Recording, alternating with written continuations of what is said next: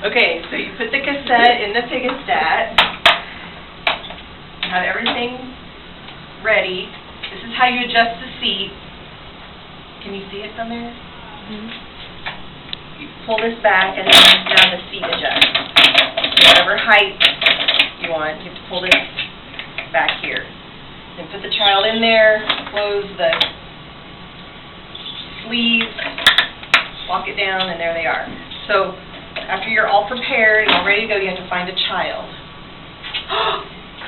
And there just happens to be one right there. Oh, there's two. Okay, turn, shut it off.